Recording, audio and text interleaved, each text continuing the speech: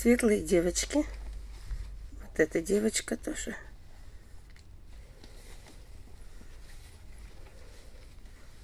Вот это мальчик.